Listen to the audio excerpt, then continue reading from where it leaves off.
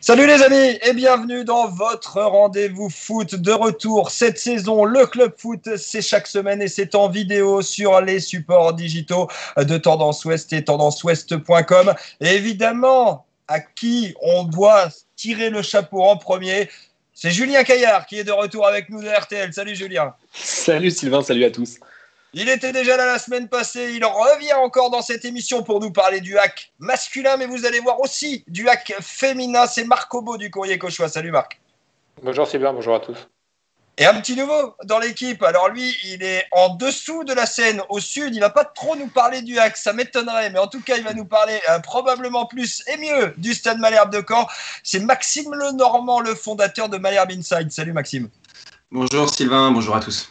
Bon, messieurs, on va rentrer dans le vif du sujet tout de suite. Et avec vous, justement, Maxime, et avec vous, Julien Caillard, euh, aussi euh, de RTL. Ça y est, le rachat du Stade Malherbe de Caen a été officialisé hier par la voie d'un communiqué de presse sur le site officiel euh, du club par le duo Octri Pierre-Antoine Capton. Bah déjà, première question, Julien. Ça y est, on a l'impression que là, cette fois, l'étape est franchie. Oui, on, l'attendait cette étape, on savait qu'elle allait être franchie. La seule question qui se posait depuis euh, plusieurs semaines, c'était de, savoir quand. Euh, maintenant, euh, c'est fait. je crois que l'important, ça va être de remettre le club à flot sur le, plan financier. C'est la première priorité. Le club vite au-dessus de ses moyens. une crise de gouvernance, des changements de président, des changements d'entraîneur, de mauvais choix stratégiques lui ont coûté très cher ces trois dernières années. Et donc, la priorité, ça va être de restructurer euh, ce club fragilisé sur le plan euh, financier. On a bien compris que, les nouveaux propriétaires voulaient investir très vite 5 ou 6 millions d'euros nécessaires au rééquilibrage des comptes, euh, que, ce, que ces propriétaires voulaient restructurer le club au plus vite. Ensuite, on parlera de sport, mais voilà, c'est entériné finalement ce, changement d'air, ce changement d'actionnariat on l'attendait. C'est effectivement une nouvelle ère qui, s'ouvre pour le Stade Malherbe de Caen. C'est la fin de, cet actionnariat partagé à parts égales qui aura donc vécu euh, une partie des années 90 et puis après la privatisation, les années, euh, les années 2000, on entre dans une autre ère aujourd'hui. Une autre ère, une nouvelle ère, une meilleure ère, Maxime Lenormand? Oui, euh, oui, en tout cas, on, l'espère. C'est vrai que c'est vrai que le, projet est ambitieux, mais comme l'a dit Julien, la priorité ce sera d'abord d'assainir les, finances du club. On a un passage devant la, DNCG euh, à la mi-septembre.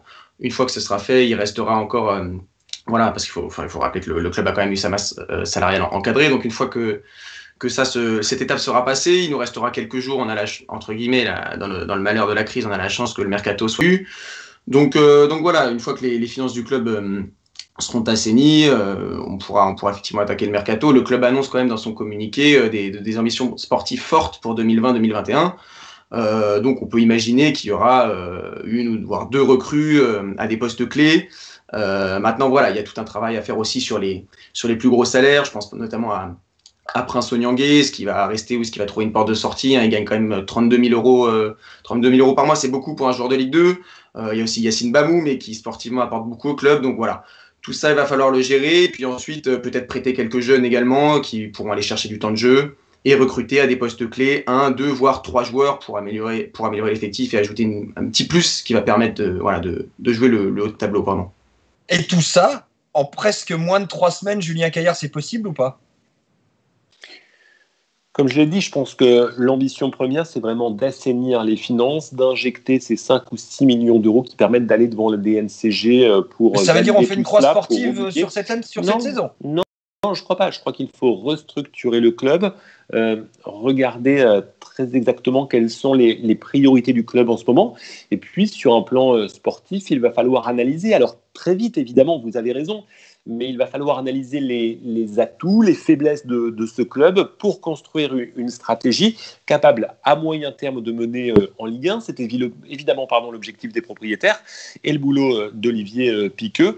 Mais l'atteinte de cet objectif, on a bien compris qu'il allait demander un petit peu de temps. Donc effectivement, je crois que l'idée, ça va être dans les semaines qui viennent d'aller peut-être chercher un, deux, trois joueurs, tout en rééquilibrant la masse salariale et en rééquilibrant cet effectif pour lui apporter une plus-value et pour faire en sorte qu'il soit ce club du Stade Malherbe de Caen en adéquation avec ce qu'il est vraiment, c'est-à-dire un club de Ligue 2 qui ne vit plus au-dessus de, ses moyens.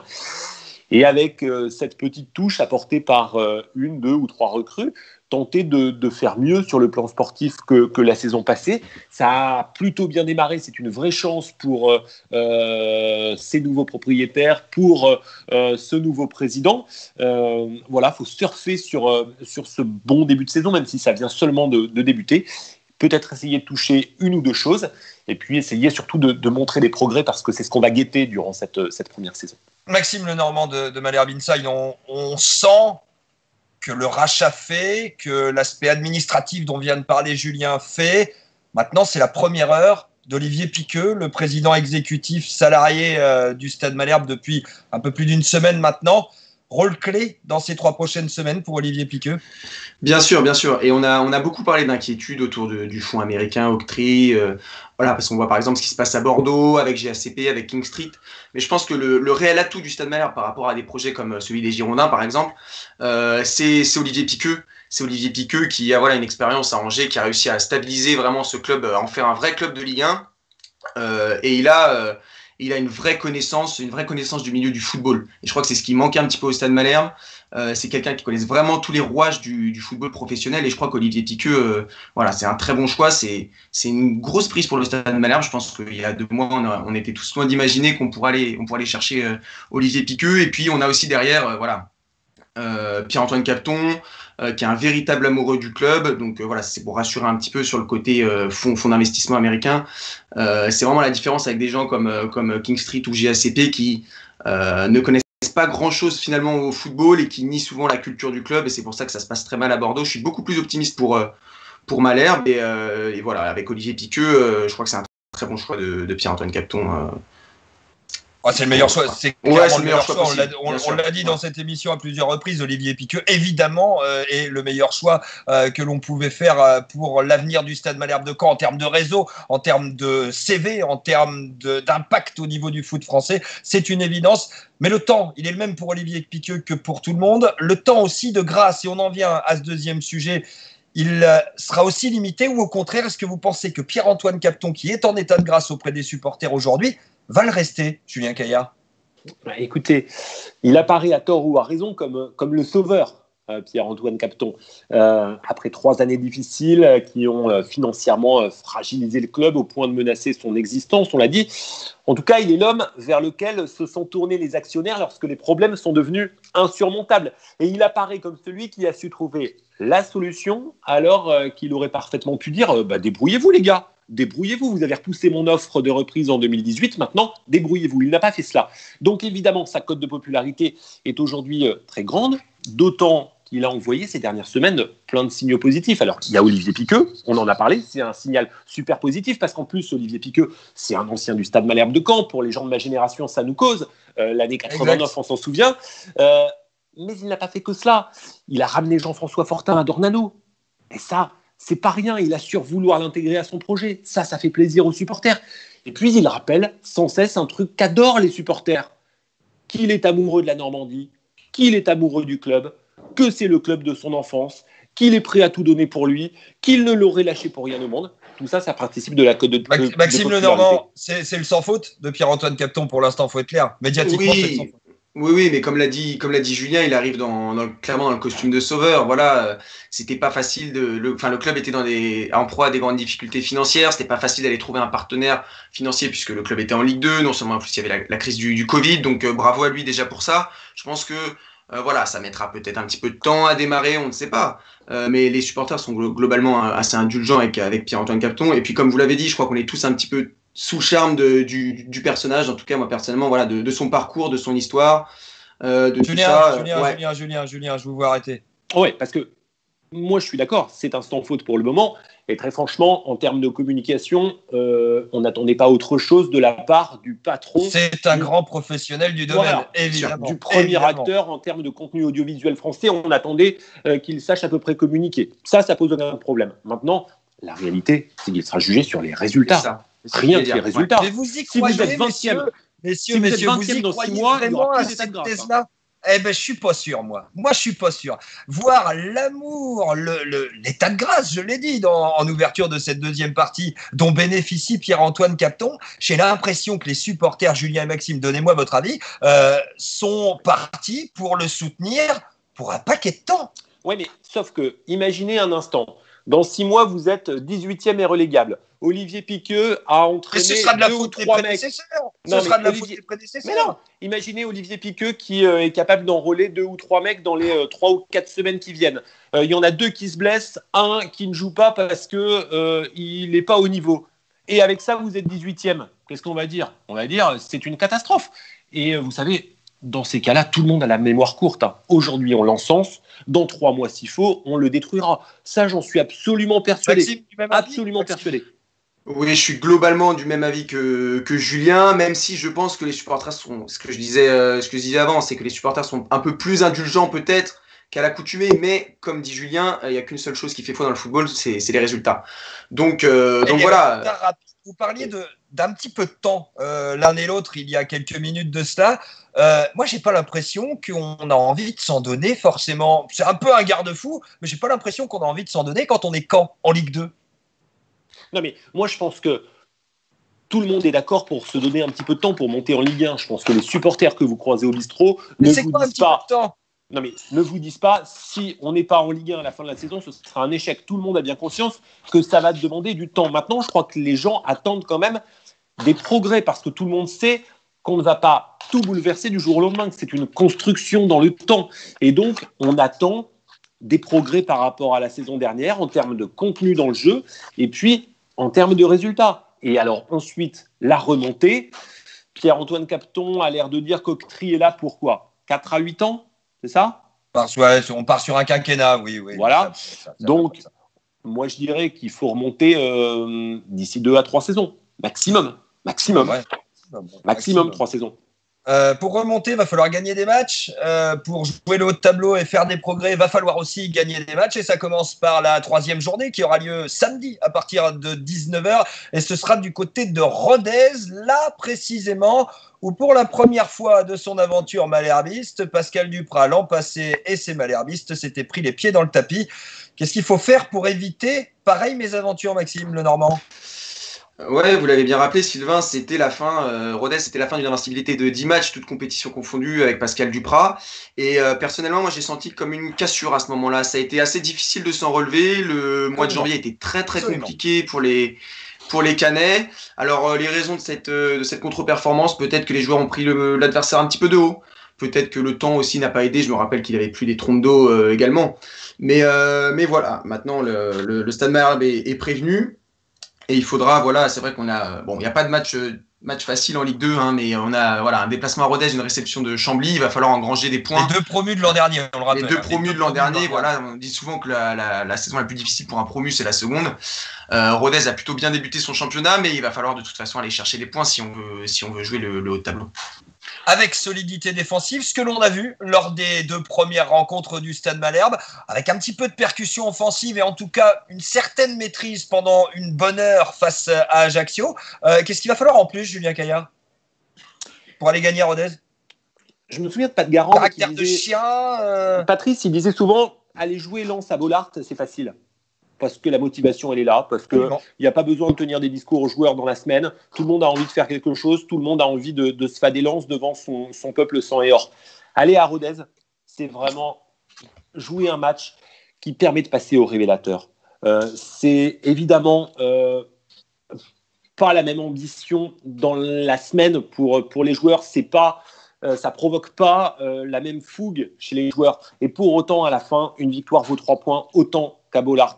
Et c'est face à ces adversaires-là que vous vous révélez. C'est face à ces adversaires-là que vous savez ce que vous pouvez espérer dans un championnat aussi serré qu'un championnat de Ligue 2 où les choses peuvent se jouer à 1, 2, 3 points, c'est-à-dire où les choses se jouent sur des détails et face à, des adversaires comme celui-ci. C'est vrai que Rodez fait plutôt un bon début de championnat, mais c'est vrai que Rodez vise d'abord et avant tout le maintien. C'est un tout petit peu plus de 7 millions d'euros euh, de budget, Rodez. C'est donc sur le papier, loin de vous, quand bien même vous avez des, difficultés euh, financières. faut aller à Rodez avec la volonté euh, de se dépouiller comme si c'était aller à Bollard faut aller à Rodez avec une conviction forte de se faire respecter défensivement et de continuer à s'affirmer offensivement. faut aller à Rodez pour gagner, point pour gagner, point, exactement, ramener euh, les trois points. Ce sera effectivement l'objectif des Malherbistes. Alors, on va pas tirer de plan sur la comète, Maxime Lenormand, mais un bon résultat à Rodez, on reçoit Chambly derrière. Avec les quatre points déjà en magasin, ça veut dire potentiellement en deux matchs un Stade Malherbe qui se retrouve en haut du tableau après quatre journées. C'était pas forcément prévu au menu, ça. Bien sûr, bien sûr, comme l'a dit Julien, on a eu la chance de faire, enfin la chance, on l'a provoqué aussi, mais de faire un bon, un bon début de championnat contre deux adversaires euh, euh, compliqués. Voilà, on était, c'est vrai, peut-être un petit peu inquiet avec tous ces, tous ces changements en coulisses, etc. Le début de championnat, pas beaucoup de mouvements dans l'effectif, etc. Mais on s'en est plutôt très bien sorti. Du coup, maintenant, on se dit que ce serait dommage d'aller voilà, planter à Rodez ou contre Chambly à, à domicile. Donc, c'est important de, de se mettre sur les bons rails tout de suite. On le voit, euh, alors on l'a vu avec Metz par exemple, qui avait très très bien débuté euh, sa saison il y, a, il y, a, deux ans. Euh, à Caen, on avait fait un bon début aussi avec Patrice Garand lors de la montée. Bon, ça s'était un petit peu dégradé ensuite. Mais voilà, c'est important de se mettre tout de suite sur, sur de bons rails. Il faut, il faut évidemment granger les points qu'on peut prendre et puis on verra après où, ça nous, où ça nous mène au fil de la, de la saison. Mais tous les points sont bons à prendre évidemment. Et s'il est malin, Pierre-Antoine Capton, il fait en sorte de battre Chambly et de battre Rodez. Derrière, il fait une Jean-Michel Aulas à l'envers, c'est-à-dire qu'il explique dans tous les journaux de français de Navarre qu'à cause du Covid, faut arrêter le championnat. Allez, la stratégie, elle est là pour finir cette partie Stade Malherbe de Caen. Le quart d'heure Malherbiste est fini, c'est l'heure d'aller voir le quart d'heure des Hackmen, des Ciels et Marines. Et quand on parle des Ciels et Marines dans cette émission, évidemment, il fait partie du pilier de ce club à suivre euh, ses évolutions. C'est Marc Obo du Courrier Cauchois. Marc, alors, on va rentrer tout de suite dans le vif du sujet. À quoi ont servi au Havre ces deux semaines de mercato? Parce qu'on n'a pas vu grand monde arriver? Eh ben voilà, vous parliez des millions d'octrines. Là, j'étais en train de vérifier sur le site internet du club. J'étais en train de vérifier ma boîte mail. Bon, il n'y a pas une nouvelle, il n'y a pas de nouveau, il n'y a pas de joueurs, il n'y a pas de joueurs, euh, il n'y a pas d'annonce de, signature malheureusement. Donc non, on a à l'heure où on enregistre l'émission là, non, il n'y a toujours pas d'arrivée, il n'y aura toujours pas de nouveaux joueurs pour Guingamp. Euh, on attend toujours le fameux, on attend toujours le fameux Karim le joueur d'Agadir, mais voilà. Qu'est-ce qui coince Pourquoi Ce qui coince, c'est que Marc a perdu le mot de passe de sa boîte mail. c'est pas la première année, c'est pas la première année. Et puis là, quelque part aussi, il faut se mettre dans la situation où peut-être que ça va s'accélérer à la fin du mois. Là, il faut imaginer que c'est le mois d'août d'habitude. Là, on est au mois de septembre, et peut-être que ça va se décanter à la fin du mois. Et c'est ce qu'on se dit. Euh, Paul Le Guen nous l'avait expliqué lors du dernier match euh, à domicile, lors de la victoire. Euh, voilà, ça va peut-être se décompter à la fin du mercato. voilà, ils sont prudents, ils, regardent, ils cherchent une plus-value. J'avais expliqué lors de l'émission la semaine dernière. Il avait dit voilà, au même niveau, je préfère faire jouer un jeune. Et il dit on regarde vraiment des joueurs qui apportent une plus-value. Bon, euh, sauf que là, il en a vraiment besoin offensivement. Hein. Euh, zéro but en, deux matchs, euh, un but contre son camp du joueur Damien. donc non, il a vraiment besoin d'une plus-value. Mais non, non, mais on se pose tous la question. Très urgent, Julien, d'avoir une recrue pour le hack en ce début de championnat. Évidemment qu'on ne retrouvera pas Tino Kadewere, c'est quasi certain, à moins d'un deuxième miracle. Et là, chapeau aux dirigeants et aux recruteurs du Havre. Mais mais il y a juste besoin d'un mec pour mettre des buts, quoi. Oui, moi je pense que Marc a raison quand il dit euh, que le calendrier est décalé, qu'on ne sait pas exactement où on en est. On est en septembre, ça se termine quand? 5 octobre. 5 octobre. Donc voilà, on va attendre d'être sur un marché de joueurs euh, aussi peut-être plus abordable pour des clubs de Ligue 2 euh, comme le Vous pensez sincèrement que les prix vont diminuer? Marc, Julien mais je ne sais pas si les prix vont diminuer. Ce que je pense, c'est que tout le monde est, déboussolé, qu'il n'y a pas eu une énorme activité sur les tout premiers choix, sur euh, les grands clubs européens, que forcément ça joue sur les deuxièmes choix et que fatalement ça joue sur les troisièmes qui sont ceux habituellement que guettent des clubs comme le Havre ou Caen. Donc je pense que tout est décalé. Je pense aussi euh, qu'il y a eu une grosse incertitude économique autour de cette crise du Covid-19 dont on voit un début de résurgence en, cette, euh, en cette rentrée, pour ne pas dire plus.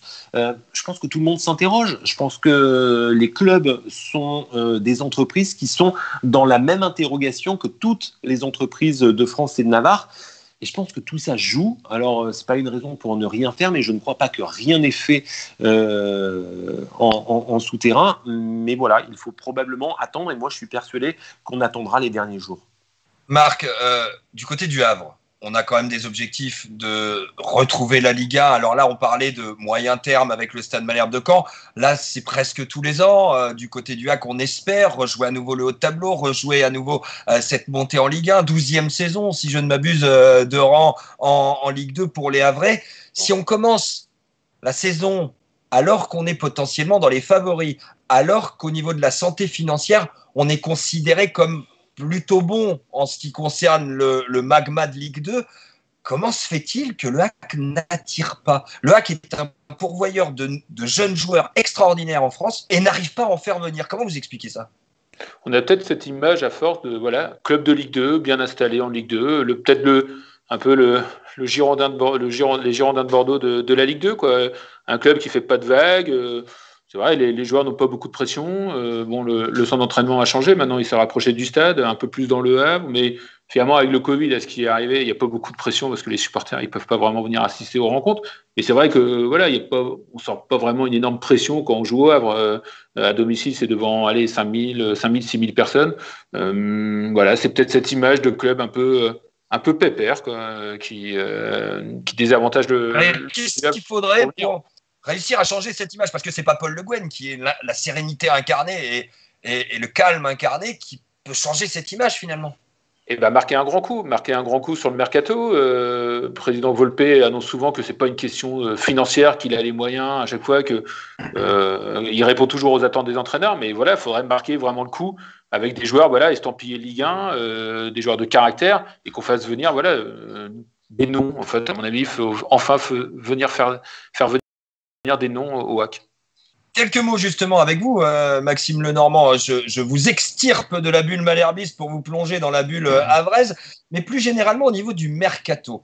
On voit que Caen et Le Havre luttent peu ou prou sur la même catégorie de joueurs, des joueurs qui sont capables de jouer une montée de Ligue 2 en Ligue 1. Euh, aujourd'hui, qui sont les bons coups selon vous, autant pour Malherbe que pour Le Havre finalement?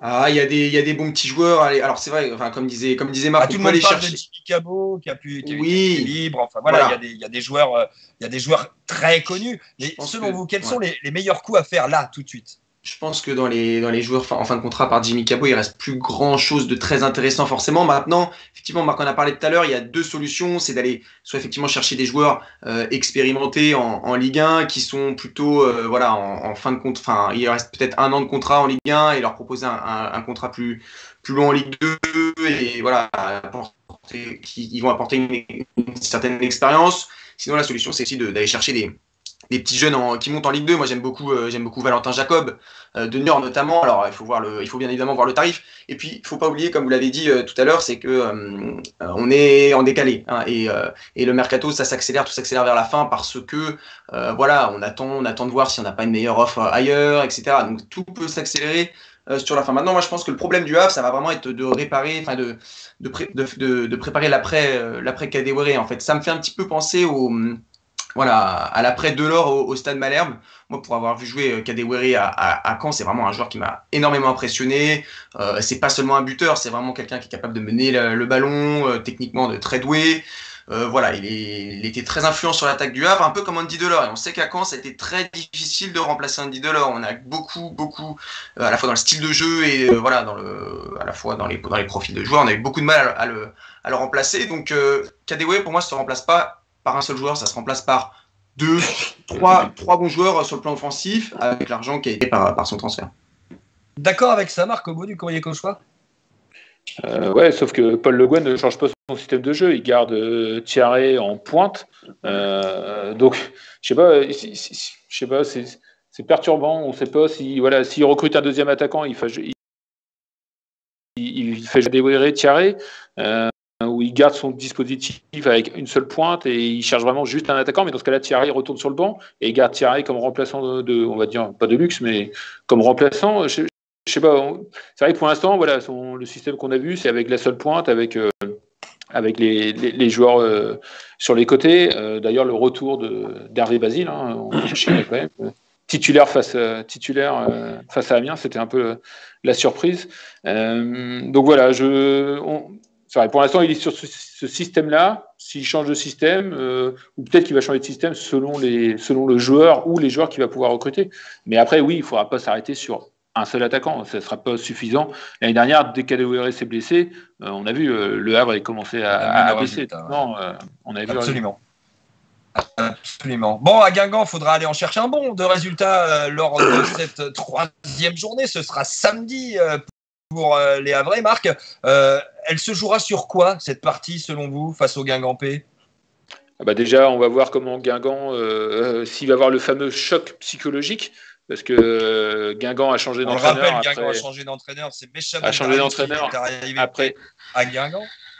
Exactement. Après deux journées, euh, bah d'ailleurs ça c'est un choix de Xavier Gravelaine, hein, votre ancien, euh, l'ancien directeur sportif de Malherbe. Il l'a annoncé, j'étais surpris, il avait, il a annoncé là que dès la première journée, dès la défaite de la première journée, il avait pris la décision de changer d'entraîneur. Donc c'est pas au bout de deux journées finalement, c'est même au bout d'une journée qu'il avait choisi de changer d'entraîneur. Donc voilà, est-ce qu'il va avoir un choc psychologique? Euh, Est-ce que NTEP, parce que j'étais surpris, les deux premières journées, leur recrue phare, c'est quand même NTEP. Voilà, on parlait de joueurs d'expérience euh, et tout. Eux, euh, Xavier Gravelaine a été chercher NTEP et NTEP a commencé sur le banc les deux matchs aussi. Mais c'est vrai qu'on a un joueur de ce talent. Alors, je ne sais pas à quel niveau physique il est, hein, mais euh, qu'on a ce jeu, un joueur de ce talent qu'on met sur le banc, c'est surprenant. Peut-être qu'il va faire son entrée face au hack. Peut-être que Gravelaine l'a aussi dit à Bazdarevic, c'est le plus gros salaire, tu me le mets sur le terrain. C'est son copain Bazdarevic, donc je pense qu'il écoutera en plus. Mm-hmm. Donc, euh, donc euh, il y, a, y, a, absolument ces, ces, paramètres qui vont rentrer en ligne de compte également. Euh, un mot, Marc, pour terminer sur le Havre. Un bon résultat à Guingamp, ce serait déjà un match nul? Ah oui, oui, vu les circonstances, oui. je vous rappelle que Bemba et Herzoy sont, sont suspendus. Gibo, euh, il est de, Gibo est de retour, hein, le, la recrue défensive. Il était à l'entraînement aujourd'hui, ouais, il était à l'entraînement voilà, il, il, est de retour, euh, donc ça c'est, c'est plutôt une bonne nouvelle. Mais Meras, euh, qui jouait avec la sélection turque, est-ce qu'il sera rentré à temps euh, et bah puis, déjà, il ne rentre pas aujourd'hui, selon les dernières informations, parce qu'il y, a, y a un passage au, au, à l'avion et, et, il a un test Covid de prévu COVID demain. Donc voilà, donc, voilà. donc c'est vu toutes, toutes les circonstances, oui, un, un match nul sera un très bon résultat en, en terre guingampèse. C'est tout ce que l'on peut souhaiter au Havre. On va passer au Havraise maintenant. Et un mot, parce qu'on ne pouvait pas le manquer, c'est un vrai événement. Les Havraises ont joué le premier match de leur histoire en élite féminine de football, la division 1 féminine, et ça s'est plutôt très bien passé. Victoire extrêmement nette, 4 buts à 0 des filles de Thierry Huvenard. C'était à ici autres promus en euh, D1. Marc, euh, elles peuvent faire quelque chose, c'est à Brest ou c'était juste le point de départ de la saison face à un autre promu qui sera plus faible? Quand vous dites faire quelque chose, c'est-à-dire. Elles peuvent bien se maintenir milieu de tableau et créer quelques surprises c'est clairement l'objectif. Euh, j'avais fait la conférence de presse de, début de saison avec Thierry Hunard. Voilà, il, y a, il disait il y a quatre intouchables Lyon, PSG, Montpellier, Bordeaux. Et nous, si on est derrière euh, vers la sixième, sixième, septième place, ça sera très très bien. Et d'ailleurs, en plus, hasard du calendrier. Enfin, d'ailleurs, il a trouvé qu'il était très bizarre ce calendrier. C'est bizarre, j'ai pas surpris. ils ont sept matchs justement face aux équipes, on va dire euh, jouables, et après il enchaîne quatre matchs face à Bordeaux, Montpellier, Lyon et PSG. Bah Donc en fait, pour lui, la face aller se joue maintenant. C'est euh, les sept premiers matchs, il doit prendre le maximum de points parce qu'il sait que les quatre derniers matchs, à moins d'une surprise, à moins d'une surprise, ça sera très très dur. Euh, Julien, un mot sur ces féminines du hack. Euh, on, est, on est plutôt heureux de voir une équipe normande au plus haut niveau du foot féminin. Et c'est un peu un modèle pour le voisin euh, du, de Basse-Normandie qui est Caen. le but, c'est d'arriver là le plus vite possible aussi. C'est ça. C'est exactement ça le, modèle, même si évidemment la construction est beaucoup plus récente à Caen et même si tout ça va, va, demander du temps. Euh, on peut penser qu'à Caen, elles seront compétitives pour jouer euh, une éventuelle deuxième montée euh, consécutive, ces, ces joueuses rouges et bleues. non, moi je me réjouis de, voir les Havraises au, plus haut niveau. D'abord parce que bah, c'est du sport de haut niveau en plus dans la région. Ensuite, c'est l'occasion de voir des joueuses de très très très haut niveau dans la région. Je pense évidemment aux joueuses lyonnaises et parisiennes, mais pas seulement. Et puis, euh, c'est aussi euh, l'occasion de faire naître des vocations. C'est plus facile pour des petites filles de, la région de se mettre au foot quand elles peuvent avoir à quelques kilomètres de chez elles euh, des exemples, des, des, nanas qui se démènent sur le terrain, qui font montre de, de talent. je pense que c'est super positif pour le foot en général et pour le foot féminin en particulier. Et, peut-être pour l'ensemble du sport féminin en particulier. J'allais vous le dire, j'allais conclure là-dessus, effectivement, pour le sport féminin. Et on le suivra, euh, ce hack féminin, dans son aventure en euh, première division toute cette saison. On va terminer euh, ce club foot de ce mardi 8 septembre. Évidemment, et comme à chaque fin d'émission, par le foot régional, national 1, national 2, national 3. Et là, j'en viens avec vous, Marcomo. Vous avez forcément suivi ces péripéties et de Quevilly-Rouen Métropole et d'Avranches en National 1. Le Covid est partout des matchs remis à gogo en National 1. Ça commence mal, ce championnat. C'est impressionnant. Hein. Bourg-en-Bresse sur quatre journées de championnat. Bourg-en-Bresse a, déjà trois matchs de retard. Euh, Bruno Hirles, après le match, après la belle victoire de QRM à, Villefranche, la première victoire, euh, justement, il disait que le championnat national va être tronqué, le classement sera illisible cette saison. Pour exemple, Bourg-en-Bresse a déjà trois matchs de retard. Euh, donc ça va être très très dur hein, ce championnat. Euh, Avranches va en avoir deux, QRM va en avoir un également dans il En a déjà un. voilà, il en a déjà un. Avranches va en avoir deux puisque les Avranchinés, on le rappelle, n'ont pas joué hier face à Orléans. messieurs, Juste un petit mot quand même. On part sur un championnat de troisième division nationale qui a déjà moult matchs remis. La Coupe de France va arriver pour ces mêmes équipes. Alors, championnat illisible, oui, mais championnat équitable toujours ou pas, Julien? Moi, je pense que le problème, il n'est même pas là. Euh, Gilbert Guérin prédit que le championnat n'ira pas à son terme dans les, situations actuelles. Il n'est pas le seul. Je ne suis pas sûr qu'il n'ait pas raison. Je suis pas sûr qu'il n'ait pas raison. Euh, je regardais dimanche soir euh, le dernier point de Santé publique France qui évoquait une progression exponentielle de la circulation du, virus, une dynamique de transmission euh, préoccupante, selon ses propres mots. On est passé à 28 départements en zone rouge, dont la Seine-Maritime. À Marseille, on apprend aujourd'hui que la quasi-totalité des lits de, de, réanimation alloués aux patients Covid sont occupés. À Lille, deux lycées ont dû fermer pas plus tard qu'aujourd'hui. Tout cela n'est pas rassurant. Alors, le monde associatif en général et le football amateur en particulier ne vivent pas en vase clos. Donc cette réalité, elle les concerne euh, forcément. Je me garderai bien de dire ce qu'il faut faire. J'en sais rien. D'autant que, est-ce que, les clubs de national, messieurs, ne devraient pas tout simplement prendre les protocoles de la LFP et les appliquer pour justement eux vivre en vase clos? Non mais donc du coup, euh, du coup, Sylvain, on se retrouve avec le loup en cuiseau Jura Sud de ce week-end qui a duré 52 secondes, faute de combattants jurassiens. C'est ça. Les mecs sont arrivés à 8. Il y en a un qui, a été blessé à la 52e seconde. À 7, l'arbitre a renvoyé tout le monde au vestiaire. Match terminé, perdu 3-0 ah sur tapis vert. Exact.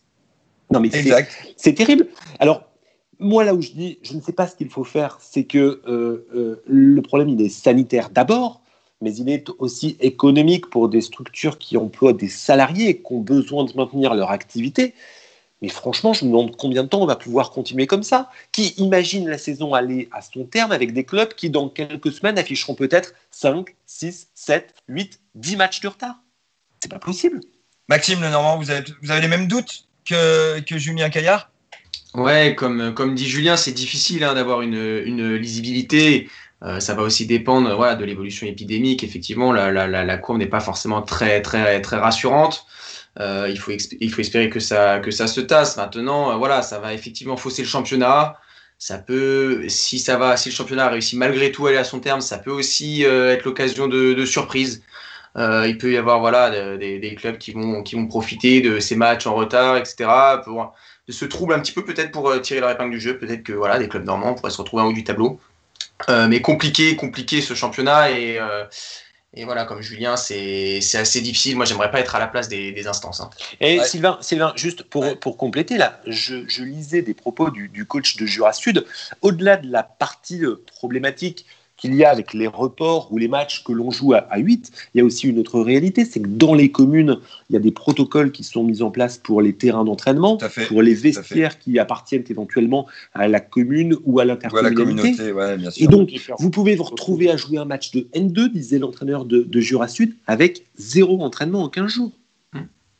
On parle de la N2 Vous imaginez le danger, y compris physique, pour les joueurs Ah, mais bien sûr, bien sûr. Marc les entraîneurs de niveau, de niveau régional que j'interviewais pour euh, la Coupe de France pour le premier tour, là, de R3, de R2, ils me disaient que certains, ils avaient changé leur manière de préparer euh, euh, le championnat pour faire un début de championnat canon. Comme ça, si le championnat s'arrête, il faut être le plus haut possible. Alors que d'habitude, ils préparent voilà, entraînement physique. Ils font des préparations très légères pour l'instant pour, être monter en efficace tout de suite.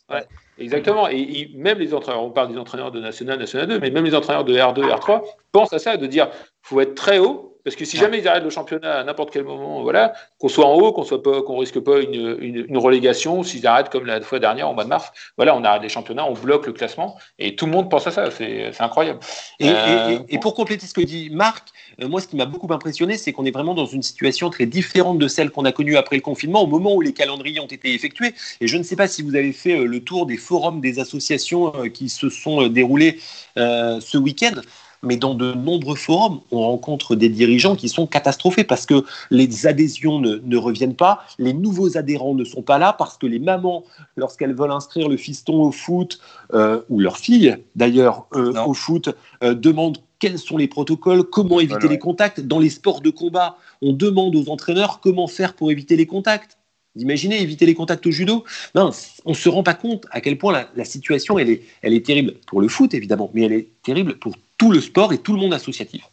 Eh ben, pour le premier tour de la Coupe de France, ce qui était incroyable, c'est que c'était selon les communes, euh, des vestiaires étaient ouverts ou pas. On pouvait prendre une douche ou pas à la fin du match. Euh, il y a des équipes qui changent dans les, dans les voitures, euh, même catégorie jeune. voilà, c'est vrai que c'est voilà, des, jeunes qui font une heure de route pour aller jouer à, à, Quevilly-Rouen ou qui viennent jouer au Havre, bah, ils changent dans la voiture et après ils rentrent, ils rentrent à Rouen ou au Havre euh, sans prendre de douche. Euh. C'est vrai que les conditions, selon les mairies, selon les communes, sont différentes et c'est vrai que ce début de, ce début de saison est, est incroyable un début de saison absolument incroyable. Et messieurs, vous m'avez tendu une parfaite perche pour conclure cette émission parce que cette semaine sur Tendance Ouest et tendanceouest.com, vous allez pouvoir découvrir l'interview de Nicolas Marais, le président du comité régional olympique et sportif de Normandie, qui justement, figurez-vous, tire les mêmes sonnettes d'alarme que vous, notamment Julien, et je reviens sur ce que vous avez dit, avec la chute vertigineuse des licenciés dans les différents euh, forums d'associations. Ce seront évidemment euh, des préoccupations que l'on aura aussi sur l'antenne de Tendance Ouest et dans cette émission. Merci, messieurs, euh, d'être euh, présents dans ce club foot euh, de ce mardi 8 septembre. Merci à vous, Marc Obo du Courrier Cauchois. Merci à vous, Julien Caillard